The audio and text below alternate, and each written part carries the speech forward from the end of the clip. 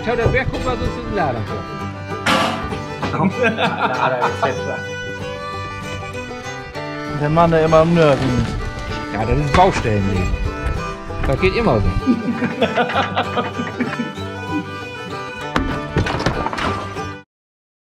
Willkommen zurück bei Manni und Hermann auf der Baustelle. Nachdem die beiden letztes Mal den Abriss der Dachpfannen und Latten gezeigt haben, beginnt heute der neue Dachaufbau. Es geht heute um das Verlegen der Unterspannbahn und den Aufbringen der Konterlatten. Ja, im hintersten Teil mussten wir ja nicht mehr dämmen. Die war ja die alte Dämmung noch drin. Da sind wir gleich bei, haben die Folie und Konterlatten drauf gemacht. Die Dachbahn legen Manni und Hermann direkt auf die Dachsparren und die Isolierung. Befestigt werden sie erst mit einem Tacker und dann mit kurzen Dachlatten als Konterlattung auf den Dachsparren. Hier wird unten begonnen und horizontal ausgerollt. Jede Lage überlappt und wird mit der darunter verklebt. Wir haben ja solche Klebestreifen drauf. Da muss man immer aufpassen, weil wir die Folie, die drauflegen, dass sie auch anständig wieder verklebt wird. Ne? Dass man da immer darauf achtet, wie um wir die haben. Im Bereich der Gaube wird vorher noch eine Bahn in der Kehle entlang gelegt, um sicherzugehen, dass hier nachher alles dicht ist.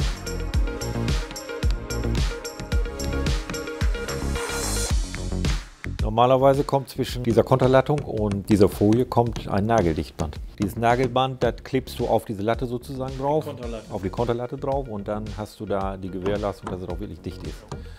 Aber da unter den Dachziegeln so gut wie kein Wasser höchstens mal bei Schneetreiben hinkommt, wird eigentlich fast jeder Handwerker sagen, das kannst du auch sein lassen. Ne, braucht man auch nicht. Jetzt werden Dachlatten im 90-Grad-Winkel auf die Konterlattung provisorisch genagelt, sodass man darauf stehen kann und nicht abrutscht. So kann man auch im oberen Teil des Daches die Folie verlegen und sich das Dach hocharbeiten. Das ist ja nur, dass man da drauf stehen konnte, dass man die Folie drauf kriegt. Die Folie hat eine Höhe von 1,30 Meter, also muss sie ja nochmal eine Querverlattung haben, um dann wieder eine Stufe höher. Dass wir da stehen können, dass man die Folie dann wieder verarbeiten kann.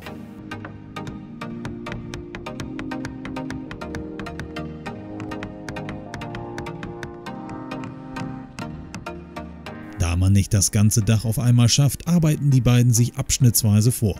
Wir hätten mit so wenigen Leuten, die eine ganze Fläche gar nicht bewältigen können, innerhalb von ein, zwei Tagen. Dann war die Gefahr zu groß, wenn es dann doch regnen sollte, dass dann alles im Innen nass wird.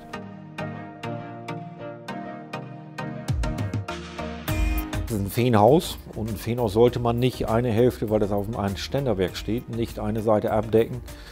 Äh, nicht, dass der Dachstuhl dann verrutscht oder sich etwas verzieht. Dass wir den Gleichgewicht so ein bisschen vom Dachstuhl Ja. behalten.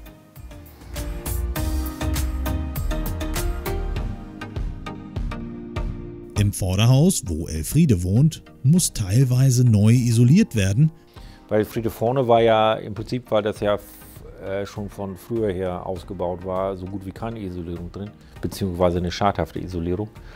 Deswegen haben wir die ganze Isolierung da rausgenommen.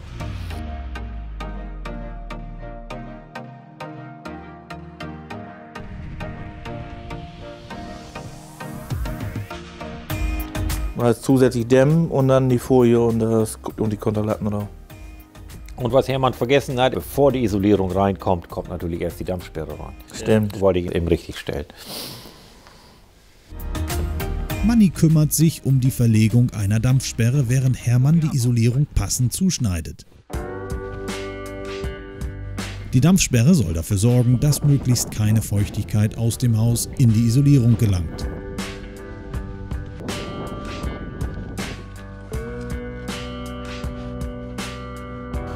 Die sind ja 1,20 Meter mal 5 Meter Länge sind die, glaube ich. Und dann schneidest du die dann auf, wie du die haben möchtest dann, ne? Wurden die dann zwischen die Sperren, Sparen reingesetzt. Bahnbreite ist nicht immer gleich. Das war mal Zwischenmaß, hast du 81 hatten wir mal zwischen. Oder, oder, oder, oder 70, das ist immer unterschiedlich gewesen.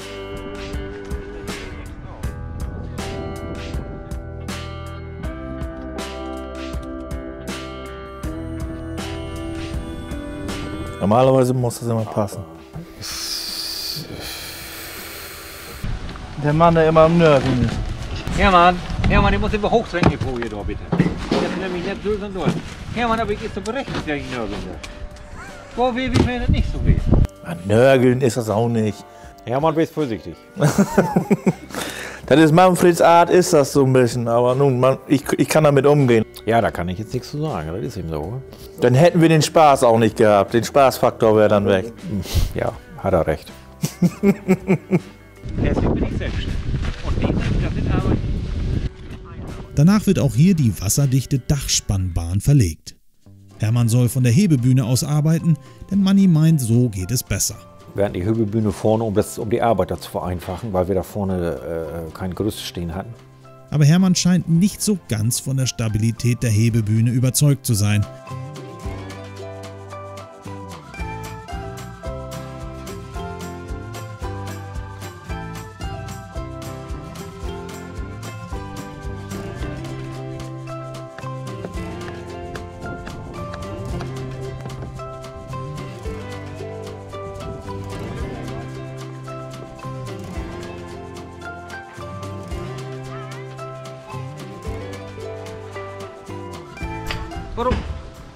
Den von Mühe aufkommen.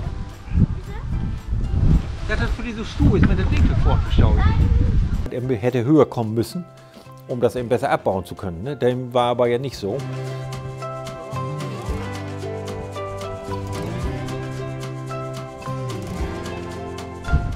Hermann, du hast auch erlebt. Was? Nee, mit die sowieso nicht. Ja, aber du schaust, du musst doch mittig schauen, oder nicht? Willst du mich jetzt verarschen? Ich will jetzt so schnell. Gib her das Ding hier. Also die haben so optimale Hilfsmittel, haben die. Und können da nicht mitarbeiten, ne? Die, Hebe- die Hebebühne war kaputt. Irgendwas war damit. Kein Kommentar. Ich glaube, Hermann hat ein bisschen Höhenangst. Nein. Würde ich mal sagen. Weiß ich auch nicht. Ich hab A Vollstaun hier. Ja, was hast du denn Fußstauen? Die Hälfte Folie habe ich hier drauf. Ja, weiß ich wohl, so weit. Ist ja gut. Latte, zack, zack. Ich muss alles selber machen. Bei mir ist das immer so, bei mir muss es immer recht schnell gehen. Ich bin keiner, der da lange rumfackelt. Wir können uns gerne hinsetzen, wir können auch stehen zu kauen, das ist alles kein Ding, aber äh, wenn, dann, wenn wir am Arbeiten sind, dann möchte ich auch, dass gearbeitet wird. Ist die Folie ausgerollt und befestigt, wird sie auch noch mit der vorherigen Bahn verklebt. Manni achtet darauf, dass die Überlappung im Bereich eines Dachsparren liegt. Aber nur, nur, nur, dass die Stöße eben anständig abgeklebt werden, dass da kein Wasser so gesehen durchgeht. Wir haben sicherlich das eine oder andere Loch, was dann da reingeschlagen worden ist, auch von mir, nicht nur von anderen. Ja, ähm, haben wir natürlich auch damit abgedichtet. Das Gelbe ist normalerweise für innen gedacht. Was? Wir haben das falsch gebaut?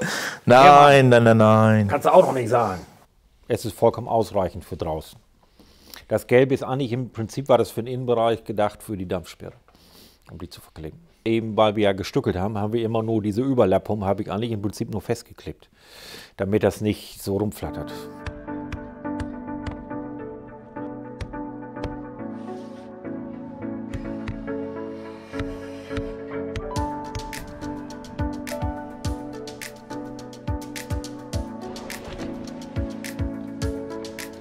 Ich habe die Hebebühne hauptsächlich gehabt oder hatten wir für die Folie besser zu halten und stramm zu halten.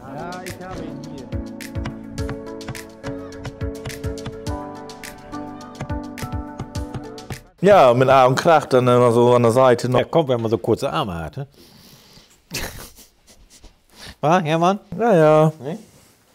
Oder die Hebebühne war zu kurz. Ich weiß es auch nicht, keine Ahnung. Ah, die fehlten immer einen Zentimeter, ne? Ja, ja, ja.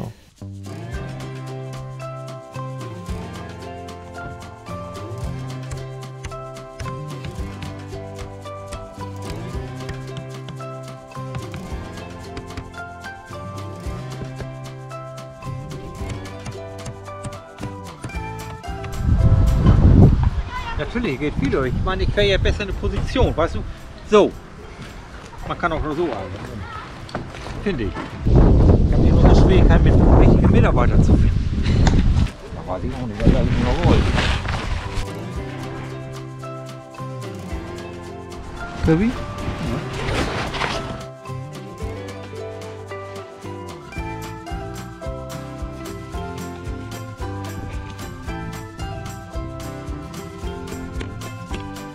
Warum bist du noch nicht oben und nagelst weiter?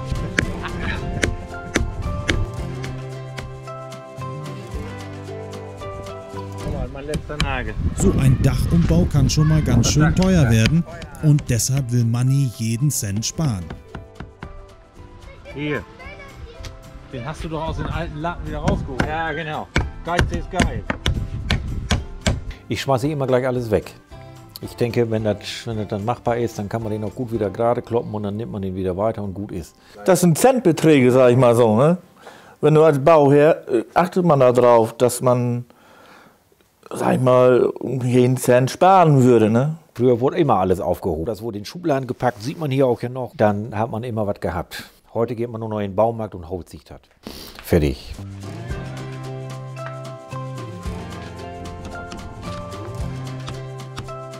Vorsicht, Finger!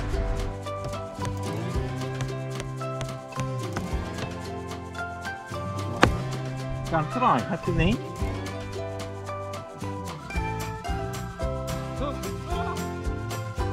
Der ganze Giebel wackelt. Quäl mich.